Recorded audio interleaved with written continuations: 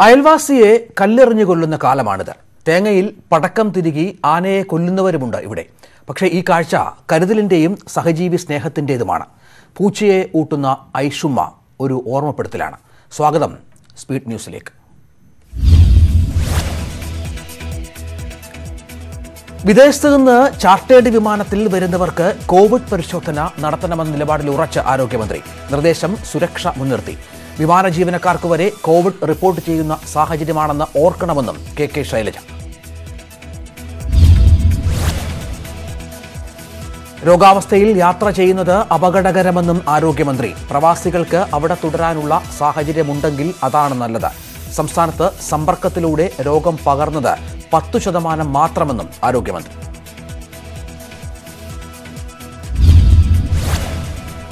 പ്രവാസികൾക്ക് കോവിഡ് പരിശോധനാ റിപ്പോർട്ട് നിർബന്ധമാക്കരുതെന്ന് മുൻ മുഖ്യമന്ത്രി ഉമ്മൻചാണ്ടി. ചാർട്ടേഡ് വിമാനങ്ങളിൽ കേരളത്തിലേക്ക് വരുന്ന പ്രവാസികൾ യാത്രയ്ക്ക് നാൽപ്പത്തിയെട്ട് മണിക്കൂർ മുൻപ് കോവിഡ് പരിശോധന നടത്തി രോഗമില്ലെന്ന് തെളിയിക്കുന്ന സർട്ടിഫിക്കറ്റ് ഹാജരാക്കണമെന്ന ഉത്തരവ് ഉടൻ പിൻവലിക്കണം. ഇക്കാര്യം ആവശ്യപ്പെട്ട് ഉമ്മൻചാണ്ടി മുഖ്യമന്ത്രി പിണറായി വിജയന് കത്ത് നൽകി. സംസ്ഥാന സർക്കാരിന്റെ പുതിയ ഉത്തരവ് അപ്രായോഗികവും പ്രവാസികൾക്ക് സാമ്പത്തികമായി ബാധ്യതയുണ്ടാക്കുന്നതുമാണെന്ന് ഉമ്മൻചാണ്ടി. ഇത് പ്രവാസികൾ ഉണ്ടാക്കുന്നത് വലിയ ആശങ്ക. വിദേശത്ത് ജോലി നഷ്ടപ്പെട്ട് ദുരിതമനുഭവിക്കുന്നവരെ എത്രയും വേഗം നാട്ടിലെത്തിക്കണമെന്നും ഉമ്മൻചാണ്ടി. സമൂഹവ്യാപനം ഉണ്ടാവില്ലെന്ന് ഉറപ്പിച്ചു പറയാനാകില്ലെന്ന് ആരോഗ്യമന്ത്രി കെ കെ ശൈലജ. നിലവിൽ സമൂഹവ്യാപനം ഉണ്ടായിട്ടില്ല. ഇതുവരെ തടഞ്ഞു നിർത്താൻ കഴിഞ്ഞുവെന്നും ആരോഗ്യമന്ത്രി. തിരുവനന്തപുരം മെഡിക്കൽ കോളേജ് ആശുപത്രിയിലെ രണ്ട് രോഗികളുടെ ആത്മഹത്യ നിർഭാഗ്യകരമെന്നും മന്ത്രി കെ കെ ശൈലജ വീഴ്ചയുണ്ടോ എന്ന് പരിശോധിക്കും. എന്താണെന്ന് പരിശോധിക്കുന്നുണ്ടെന്നും പ്രത്യേക ശ്രദ്ധ നൽകുമെന്നും മന്ത്രി. രോഗികളുടെ ആത്മഹത്യയിൽ ഡോക്ടർമാരെ അടച്ചാക്ഷേപിക്കാൻ കഴിയില്ലെന്നും മന്ത്രി. ഡോക്ടർമാരുടെ മനോവീര്യം നഷ്ടപ്പെടുത്തും വിധം എല്ലാത്തിനും അവരെ കുറ്റപ്പെടുത്താനാകില്ല. ആത്മഹത്യ ചെയ്തവർ മദ്യാസക്തിയുടെ ലക്ഷണങ്ങൾ പ്രകടിപ്പിച്ചിരുന്നില്ലെന്നും ആരോഗ്യമന്ത്രി. കരിപ്പൂർ വിമാനത്താവളത്തിൽ ഗുരുതര സുരക്ഷാ വീഴ്ച ഉപയോഗിച്ച പി പി ഇ കിറ്റുകൾ വലിച്ചെറിഞ്ഞ ദൃശ്യങ്ങൾ ന്യൂസ് എയ്റ്റീന്. കഴിഞ്ഞ ദിവസം വിമാനത്താവള മാനേജർ ഉൾപ്പെടെയുള്ള മുപ്പതോളം ജീവനക്കാർ ക്വാറന്റൈനിൽ പോയിരുന്നു. പി പി ഇ കിറ്റുകൾ വലിച്ചെറിയുന്നുവെന്ന വാർത്ത ശ്രദ്ധയിൽപ്പെട്ടിട്ടില്ലെന്ന് ആരോഗ്യമന്ത്രി. പി പി ഇ കിറ്റുകൾ ഓട്ടോ ക്ലീൻ ചെയ്യാൻ സംവിധാനമുണ്ട്. അന്വേഷിച്ച് നടപടിയെടുക്കുമെന്നും ആരോഗ്യമന്ത്രി. ഇളവ് അനുവദിച്ചില്ലെങ്കിലും ഞായറാഴ്ച കുർബാന ഒഴിവാക്കി സംസ്ഥാനത്തെ ഭൂരിഭാഗം ക്രിസ്ത്യൻ പള്ളികളും. കുർബാന നടന്ന പള്ളികൾ കർശന മാർഗനിർദ്ദേശങ്ങൾ പാലിച്ചു. സാമൂഹിക അകലം പാലിച്ചും കുർബാനകൾക്കിടയിലെ ഇടവേള വർദ്ധിപ്പിച്ചും പ്രാർത്ഥനാ ചടങ്ങുകൾ. മിഥുനമാസ പൂജകൾക്കായി ശബരിമല നട ഇന്ന് തുറക്കും. വൈകിട്ട് അഞ്ചിനാണ് നട തുറക്കൽ. തന്ത്രി കണ്ഠരര് മഹേഷ് മോഹനരുടെ മുഖ്യകാർമ്മികത്തിൽ മേൽശാന്തി എ കെ സുധീർ നമ്പൂതിരി വിളക്കുകൾ തെളിക്കും. ഭക്തരെ പ്രവേശിപ്പിക്കില്ല. കോട്ടയം ജില്ലാ പഞ്ചായത്ത് പ്രസിഡന്റ് സ്ഥാനം രാജിവെച്ച് ഒത്തുതീർപ്പിനില്ലെന്ന നിലപാടിലേക്ക് ജോസ് കെ മാണി പക്ഷം. തീരുമാനം പ്രസിഡന്റ് സ്ഥാനം ജോസ് പക്ഷം രാജിവെക്കാതെ യു യോഗങ്ങളിൽ പങ്കെടുക്കില്ലെന്ന് ജോസഫ് നിലപാട് പ്രഖ്യാപിച്ചതിന് പിന്നാലെ. സ്ഥാനമാറ്റത്തിൽ എഴുതി തയ്യാറാക്കിയ കരാർ ഇല്ലെന്ന വാദത്തിൽ ഉറച്ച് ജോസ് പക്ഷം. ജോസഫിനെതിരെ ആഞ്ഞടിച്ച് പാലായിൽ പരാജയപ്പെട്ട യു ഡി എഫ് സ്ഥാനാർത്ഥി ജോസ് ടോം രാജിക്കായി സമ്മർദ്ദം ചെലുത്താൻ ജോസഫിന് അർഹതയില്ല. ജോസഫിനെ തിരികെ എടുത്തത് കെ എം മാണിക്ക് പറ്റിയ തെറ്റ്. ജില്ലാ പഞ്ചായത്ത് അംഗങ്ങളെ ചാക്കിട്ട് പിടിച്ചത് നാണമില്ലാത്ത നടപടിയാണെന്നും ജോസ് ടോം തലസ്ഥാനത്ത് ഓൺലൈൻ ഭക്ഷണ വിതരണ ശൃംഖലയായ സ്വിഗ്ഗിയിലെ ജീവനക്കാരുടെ സമരം നാലാം ദിവസം. സമരം ഇൻസെന്റീവ് അടക്കം വെട്ടിക്കുറച്ച വെട്ടിക്കുറച്ച ആനുകൂല്യങ്ങൾ പുനഃസ്ഥാപിക്കണമെന്നാവശ്യപ്പെട്ട് സമരം ചെയ്തവരെ പിരിച്ചുവിടുന്നത് അടക്കം പ്രതികാര നടപടികളുമായി മാനേജ്മെന്റ്.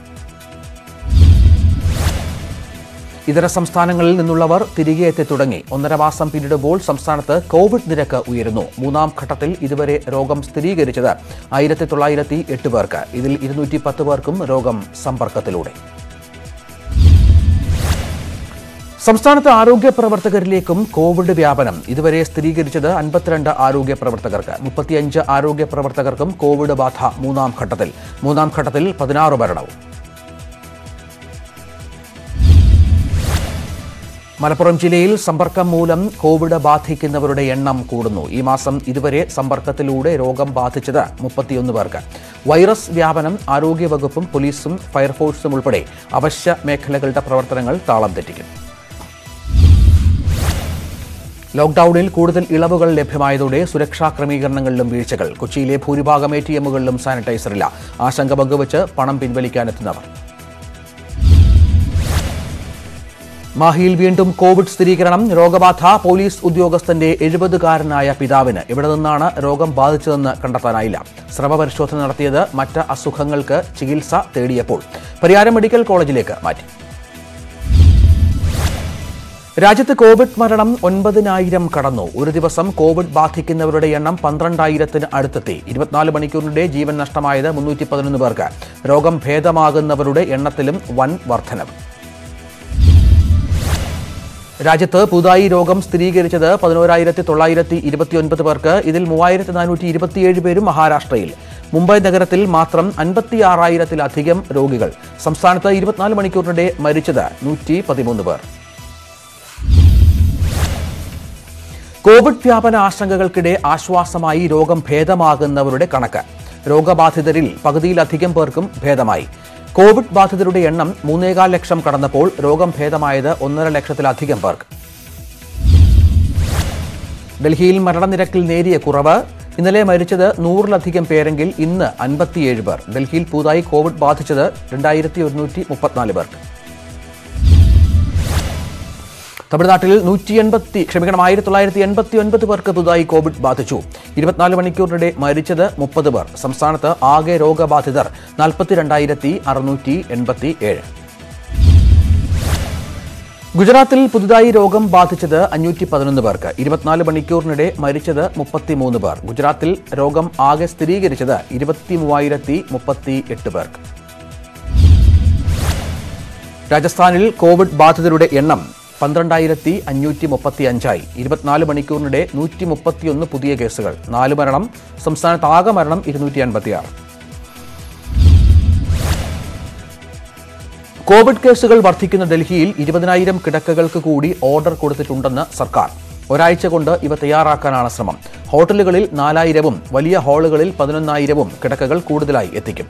നഴ്സിംഗ് ഹോമുകളിൽ അൻപതിനായിരം കിടക്കകൾ കൂടി സജ്ജമാക്കുമെന്നും ഡൽഹി സർക്കാർ. ലോകത്ത് കോവിഡ് ബാധിതർ എഴുപത്തിയെട്ടര ലക്ഷം കടന്നു. ഇന്നലെ മാത്രം ഒരു ലക്ഷത്തി മുപ്പത്തിരണ്ടായിരത്തിലേറെ പേർക്ക് രോഗബാധ. മരണസംഖ്യ നാല് ലക്ഷത്തി മുപ്പത്തിയൊന്നായിരത്തിലേറെ. നാൽപ്പത് ലക്ഷത്തിലേറെ പേർ രോഗമുക്തി നേടി. ബ്രസീലിൽ രോഗബാധിതരുടെ എണ്ണം എട്ടര ലക്ഷം കടന്നു. ഇരുപത്തിനാല് മണിക്കൂറിനിടെ ഇരുപതിനായിരത്തിലേറെ പുതിയ കേസുകൾ. ഇതുവരെ മരിച്ചത് നാൽപ്പത്തിരണ്ടായിരത്തിലേറെ പേർ.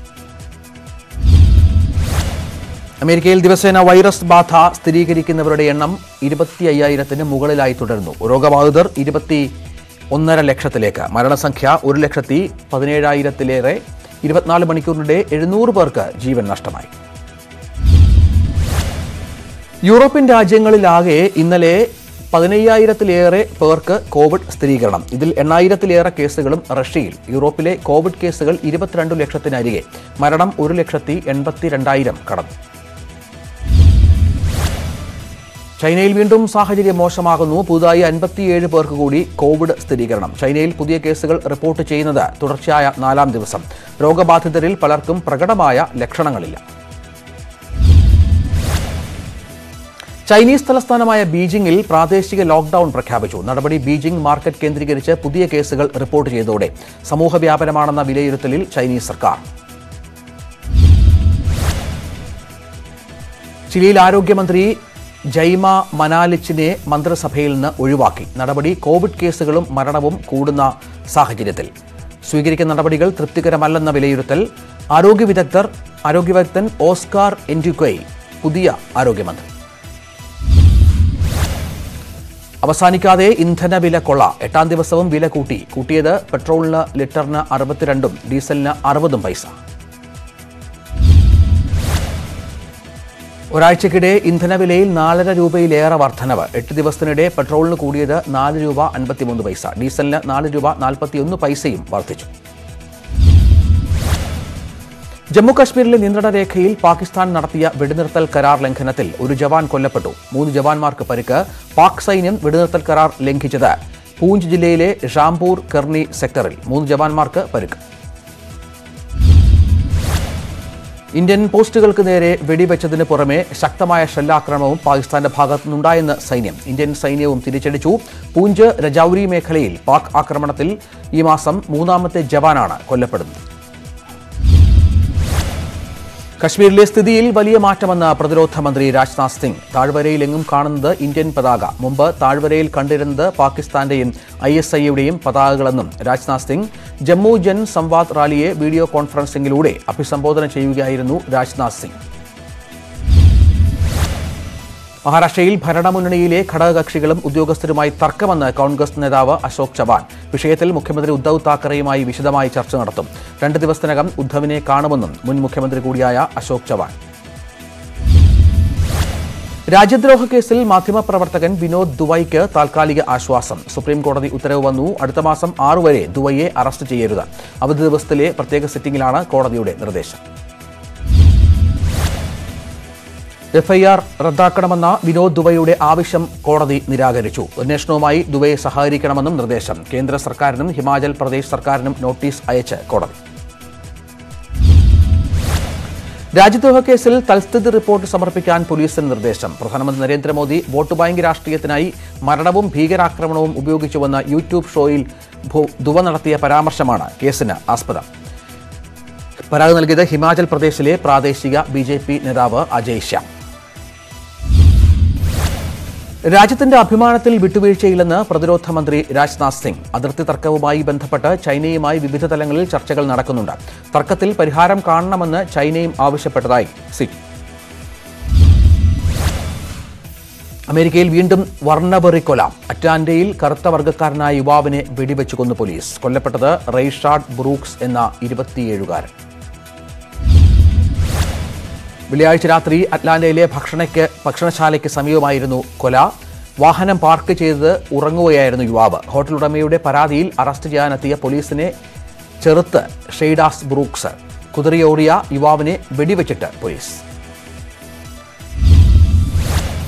അറ്റ്ലാന്റയിൽ വൻ പ്രതിഷേധം. വെടിവെച്ച ഉദ്യോഗസ്ഥനെ പുറത്താക്കി സർക്കാർ. ഉത്തരവാദിത്തം ഏറ്റെടുത്ത് സംസ്ഥാന പോലീസ് മേധാവി രാജിവെച്ചു. റൈഷാഡിനെ ഉടൻ ആശുപത്രിയിലെത്തിച്ചെങ്കിലും രക്ഷപ്പെടുത്താനായില്ലെന്നാണ് പോലീസിന്റെ വിശദീകരണം.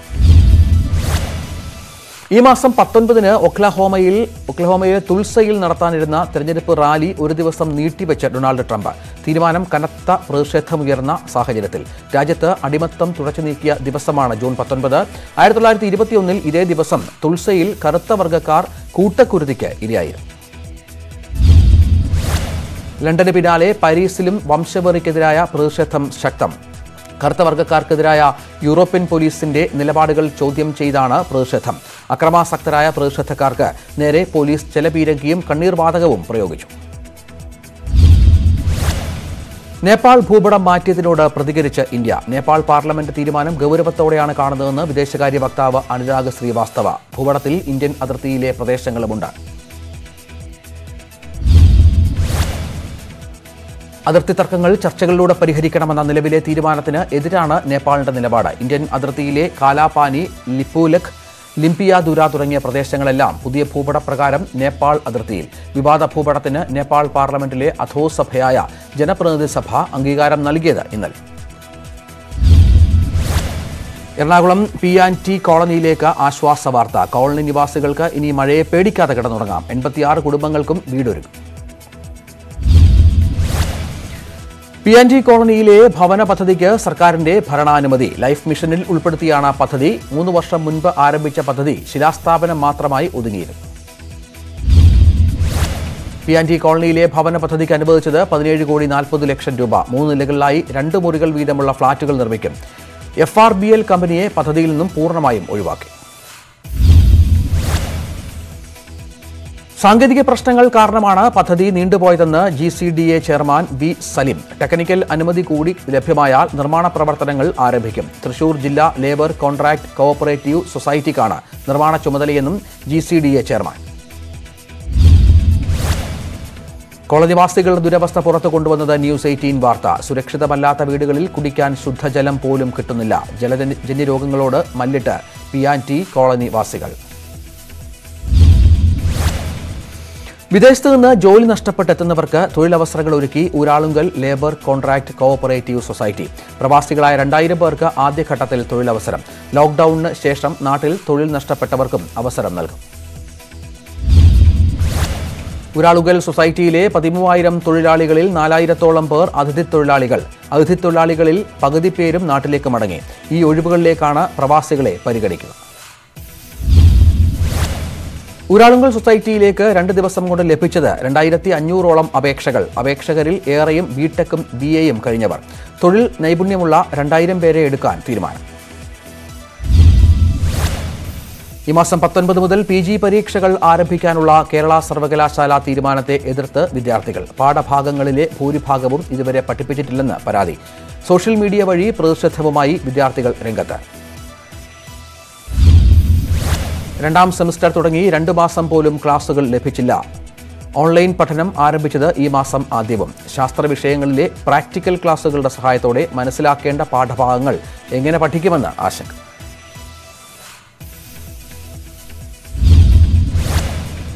വടക്കൻ ജില്ലകളിൽ നിന്നുള്ള വിദ്യാർത്ഥികളടക്കം പഠന സാമഗ്രികൾ ഹോസ്റ്റലുകളിൽ വെച്ചു മടങ്ങിയവർ. സ്വകാര്യ ബസ്സുകൾ മിക്കയിടങ്ങളിലും സർവീസ് നടത്താത്തതിനാൽ പരീക്ഷാ കേന്ദ്രങ്ങളിൽ എത്താൻ ബുദ്ധിമുട്ട് നേരിടും. യു ജി സിക്ക് പരാതി നൽകി കേരള സർവകലാശാല വിദ്യാർത്ഥികൾ. കേരള സർവകലാശാല ഡിഗ്രി പ്രൈവറ്റ് രജിസ്ട്രേഷൻ വിദ്യാർത്ഥികൾക്ക് ജില്ല വിട്ട് പരീക്ഷാ സെന്റർ അനുവദിച്ചെന്ന് പരാതി. നാളെ തുടങ്ങുന്ന പരീക്ഷകൾക്കുള്ള സെന്റർ സംബന്ധിച്ച അറിയിപ്പ് വളരെ വൈകിയാണ് ലഭിച്ചതെന്നും ആക്ഷേപം. കോവിഡ് കാലത്ത് വീടുകളിൽ നിന്ന് വളരെ ദൂരെയുള്ള പരീക്ഷാ സെന്ററിൽ എത്തുക ബുദ്ധിമുട്ടാണെന്ന് വിദ്യാർത്ഥികളും രക്ഷിതാക്കളും സംസ്ഥാനത്തെ ഹോട്ടൽ തൊഴിലാളികൾ പ്രതിസന്ധിയിൽ. തൊഴിലാളികൾക്ക് ക്ഷേമനിധി അടക്കമുള്ള ആനുകൂല്യങ്ങൾ ഇല്ല. P F E S I അടക്കമുള്ള ആനുകൂല്യങ്ങളും ഇവർക്കില്ല. കൃത്യമായ വേതനമോ ജോലി സമയമോ മറ്റ് തൊഴിൽ നിയമങ്ങളോ സംരക്ഷണം ആകുന്നില്ലെന്ന് ഹോട്ടൽ തൊഴിലാളികൾ. പ്രത്യേക പാക്കേജ് അനുവദിക്കണം എന്ന് ആവശ്യം. ഹോട്ടൽ അനുബന്ധ മേഖലയ്ക്കായി പ്രത്യേക ക്ഷേമനിധി ബോർഡ് രൂപീകരിക്കണമെന്നും സംഘടനകൾ. ദുരിതങ്ങൾ ചൂണ്ടിക്കാട്ടി മുഖ്യമന്ത്രി നിവേദനം നൽകി മുഖ്യമന്ത്രിക്ക് നിവേദനം നൽകി ഹോട്ടൽ തൊഴിലാളി സംഘടനകൾ. യാതൊരു ഇടപെടലും ഉണ്ടായിട്ടില്ലെന്ന് സംഘടനകൾ. പ്രത്യേക പാക്കേജ് അനുവദിച്ചില്ലെങ്കിൽ പ്രതിഷേധവുമായി മുന്നോട്ടു പോകും. സെക്രട്ടേറിയറ്റ് മാർച്ച് നടത്തുമെന്നും സംഘടനകൾ.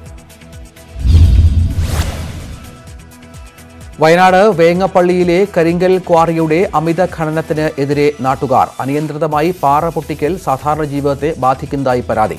ക്വാറിക്ക് സമീപം താമസിക്കുന്നത് നൂറോളം കുടുംബങ്ങൾ. വയനാട് വെങ്ങപ്പള്ളിയിലെ കരിങ്കൽ ക്വാറിയുടെ അമിത ഖനനം കാരണം പല വീടുകളുടെയും ചുമരുകളിൽ വിള്ളൽ. പഞ്ചായത്ത് അധികൃതരോട് ഉൾപ്പെടെ പരാതിപ്പെട്ടിട്ടും നടപടിയില്ല. കോടതിയെ സമീപിക്കാൻ ഒരുങ്ങി പ്രദേശവാസികൾ. കായംകുളം നഗരസഭയിലെ കുറ്റിക്കുരുമുളക് വിതരണത്തിൽ ക്രമക്കേടെന്ന് ആരോപണം. കുറ്റിക്കുരുമുളകിന് പകരം വള്ളിക്കുരുമുളക് വിതരണം ചെയ്ത് മുപ്പത്തിരണ്ട് ലക്ഷം തട്ടിയെന്ന് ആക്ഷേപം. വിജിലൻസിന് പരാതി നൽകി യു ഡി എഫ് നേതാക്കൾ. കായംകുളം നഗരസഭയിൽ മുപ്പത്തിരണ്ട് ലക്ഷം രൂപ മുടക്കി കുറ്റിക്കുരുമുളക് വിതരണം ചെയ്തത് വാർഷിക പദ്ധതിയുടെ ഭാഗമായി. ഭരണ നേതൃത്വം അവകാശപ്പെടുന്നത് തൈകൾ വാങ്ങിയത് സർക്കാർ ഏജൻസി വഴിയെന്ന്. വിതരണം ചെയ്തത് സ്വകാര്യ നഴ്സറികളിൽ നിന്നുള്ള ഗുണനിലവാരമില്ലാത്ത തൈകളെന്ന് ആരോപണം. നടപടിക്രമങ്ങൾ പാലിക്കാതെയാണ് വള്ളിക്കുരുമുളക് വിതരണം ചെയ്തതെന്ന് യു ഡി എഫ് തൈ വിതരണം നഗരസഭാ കൗൺസിലിനെ അറിയിച്ചിട്ടില്ല. സർക്കാർ ഏജൻസിയിൽ നിന്ന് നൂറ് രൂപ നിരക്കിൽ വാങ്ങിയെന്ന് അവകാശപ്പെടുന്ന തൈകൾ നാൽപ്പത് രൂപ നിരക്കിൽ സ്വകാര്യ നഴ്സറികളിൽ നിന്ന് വാങ്ങിയെന്നും പ്രതിപക്ഷം. തിരുവനന്തപുരം കഠിനകുളത്ത് ടാർപോളിൻ ഷീറ്റ് കൊണ്ട് മറച്ച കുടലിൽ കഴിയുന്ന കുടുംബത്തെ ലൈഫ് പദ്ധതിയിൽ നിന്ന് ഒഴിവാക്കിയതായി പരാതി. കഠിനകുളം സ്വദേശി നൌഷാദും ഭാര്യയും രണ്ട് പെൺമക്കളുടെയും ജീവിതം ദുരിതത്തിൽ. ലൈഫ് പദ്ധതിയിൽ അപേക്ഷ നൽകിയിട്ടും അധികൃതർ പരിഗണിച്ചില്ലെന്ന് കുടുംബം.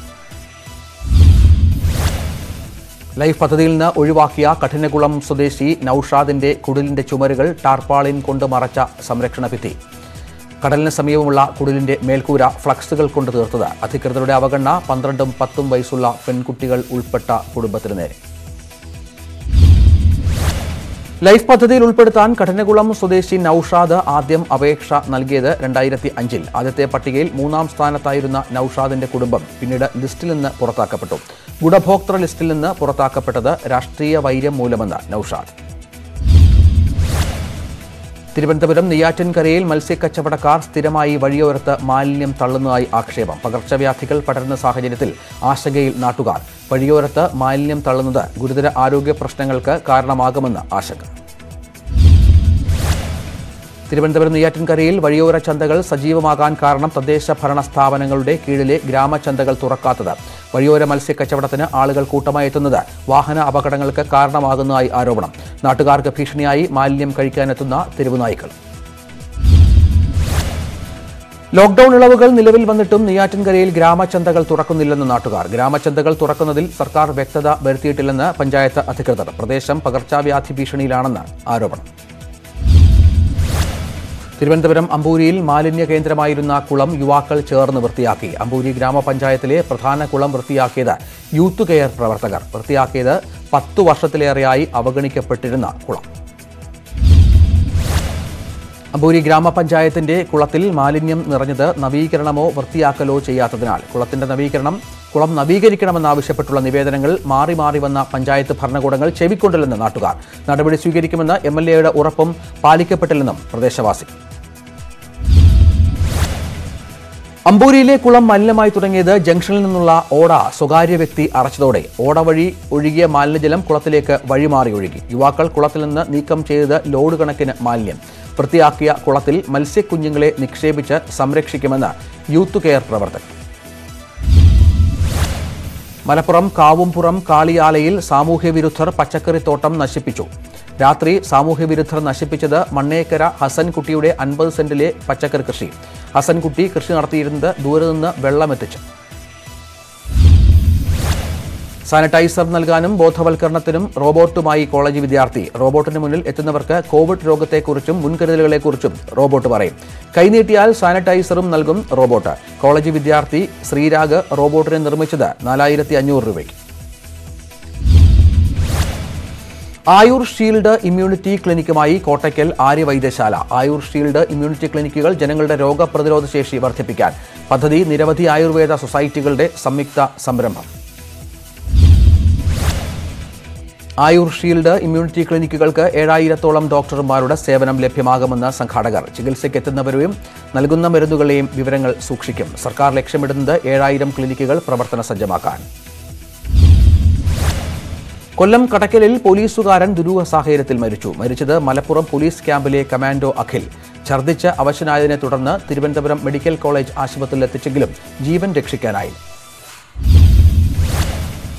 മരിച്ച പോലീസുകാരന്റെ സുഹൃത്തും കടുത്ത ഛർദിയെ തുടർന്ന് മെഡിക്കൽ കോളേജിൽ ഇരുവരും വിഷമദ്യം കഴിച്ചെന്ന് പ്രാഥമിക നിഗമനം. പോലീസ് അന്വേഷണം തുടരുന്നു. കോഴിക്കോട് ഇരിങ്ങലിൽ ടാങ്കർ ലോറിയും കാറും കൂട്ടിയിടിച്ച് രണ്ടുപേർ മരിച്ചു. മരിച്ചത് കണ്ണൂർ താണ സ്വദേശി ആഷിക്കും മകൾ ഐഷയും. പരിക്കേറ്റ മുഹമ്മദ് സാലിഹ് സുഹൈബ എന്നിവരെ കോഴിക്കോട്ടെ സ്വകാര്യ ആശുപത്രിയിൽ പ്രവേശിപ്പിച്ചു. ഇന്ധനം ഇറക്കി വരികയായിരുന്ന ടാങ്കർ ലോറി ഇവർ സഞ്ചരിച്ച കാറിൽ ഇടിക്കുകയായിരുന്നു. അടിമാലി കുളമാക്കുടി ആദിവാസി കോളനിയിലെ പെൺകുട്ടിയുടെ മരണത്തിൽ ദുരൂഹത. ആത്മഹത്യയാണെന്ന് പ്രാഥമിക പോസ്റ്റ്മോർട്ടം റിപ്പോർട്ട് പതിനൊന്നാം തീയതി കാണാതായ പെൺകുട്ടി പന്ത്രണ്ടാം തീയതി വീട്ടിൽ തിരിച്ചെത്തുന്നതുവരെ എവിടെയായിരുന്നു എന്നതിന് വ്യക്തതയില്ല. ആത്മഹത്യയ്ക്ക് ശ്രമിച്ച ബന്ധുവായ പെൺകുട്ടി അപകടനില തരണം ചെയ്തു. അടിമാലി കുളമാക്കുടി ആദിവാസി കുടിയിലെ പെൺകുട്ടിയുടെ മരണത്തിൽ അന്വേഷണം ഊർജിതം. മൊബൈൽ ഫോൺ കേന്ദ്രീകരിച്ചാണ് അന്വേഷണം. കൂടുതൽ കാര്യങ്ങൾ ഉടൻ വ്യക്തമാകുമെന്ന് പോലീസ്.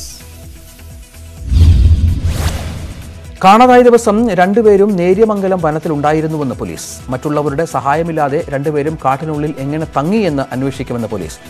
മകൾക്ക് മൊബൈൽ ഫോൺ വാങ്ങി നൽകിയിരുന്നില്ലെന്ന് പോലീസിന് കൃഷ്ണപ്രിയയുടെ അമ്മ ചന്ദ്രികയുടെ മൊഴി. കുട്ടിക്ക് ഫോൺ ലഭിച്ചത് എവിടെ നിന്നാണെന്നും പോലീസ് അന്വേഷിക്കുന്നു കോട്ടയം മുണ്ടക്കയത്ത് മധ്യവയസ്കനെ കല്ലെറിഞ്ഞു കൊന്ന സംഭവത്തിൽ പ്രതിപിടിയിൽ പിടിയിലായത് അയൽവാസിയായ ബിജു. അറസ്റ്റ് ഇന്ന് തന്നെ രേഖപ്പെടുത്തും. മുണ്ടക്കയം സ്വദേശി സാബു കൊല്ലപ്പെട്ടത് ഇന്നലെ കല്ലെറിഞ്ഞ് വീഴ്ത്തിയ ശേഷം പ്രതി തലക്കടിക്കുകയായിരുന്നു. വാഹനം പാർക്ക് ചെയ്യുന്നതുമായി ബന്ധപ്പെട്ട തർക്കമാണ് കൊലപാതകത്തിൽ കലാശിച്ചതെന്ന് പോലീസിന്റെ നിഗമനം. വിവാഹ വാഗ്ദാനം നൽകി പീഡിപ്പിച്ചെന്ന് പരാതിയിൽ ട്രെയിനി എസ് ഐക്കെതിരെ കേസെടുത്ത പോലീസ്. കേസെടുത്തത് പോക്സോ നിയമപ്രകാരം.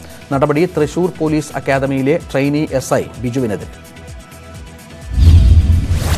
വിവാഹ വാഗ്ദാനം നൽകി പീഡിപ്പിച്ചെന്ന് പരാതി നൽകിയത് തിരുവനന്തപുരം സ്വദേശിനിയായ പെൺകുട്ടി. ബന്ധുവായ ബിജു പതിനാറ് വയസ്സ് മുതൽ വിവാഹ വാഗ്ദാനം നൽകി പീഡിപ്പിച്ചെന്ന് പരാതി. അന്വേഷണം ആരംഭിച്ച് നെയ്യാറ്റിൻകര പോലീസ്. വടകരയിൽ രണ്ടര കിലോഗ്രാം കഞ്ചാവുമായി ഒരാൾ പിടിയിൽ. എക്സൈസിന്റെ പിടിയിലായത് പൈങ്ങോട്ടായി പാറമേൽ വീട്ടിൽ അഷ്കർ. ബൈക്കിൽ കടത്തുകയായിരുന്ന കഞ്ചാവ് കണ്ടെടുത്തത് ദേശീയപാതയിൽ നടത്തിയ വാഹന പരിശോധനയിൽ. അഷ്കർ വാഹന മോഷണ കേസുകളിലും പ്രതി. ഒരു ലക്ഷം കോടി രൂപ കവിഞ്ഞ് റിലയൻസ് ജിയോയിലെ വിദേശ നിക്ഷേപം. ഏറ്റവും ഒടുവിൽ നിക്ഷേപിച്ചത് അമേരിക്കയിലെ നിക്ഷേപക വമ്പൻ ടെക്സാസ് പസഫിക് ക്യാപിറ്റൽ എന്ന ടി പി ജി. നാലായിരത്തി അഞ്ഞൂറ്റി നാൽപ്പത്തി ആറ് കോടി എൺപത് ലക്ഷം രൂപയാണ് മുതൽ മുടക്ക്. ജിയോയിൽ ഇതുവരെ ഒരു ലക്ഷത്തി രണ്ടായിരത്തി നാനൂറ്റി മുപ്പത്തി രണ്ട് കോടി രൂപയുടെ നിക്ഷേപം. നിക്ഷേപം തുടങ്ങിവെച്ചത് Facebook K K R Silver Lake Vista തുടങ്ങിയവയും നിക്ഷേപിച്ചു. അബുദാബി ഇൻവെസ്റ്റ്മെന്റ് അതോറിറ്റിയും മുതൽ മുടക്കി.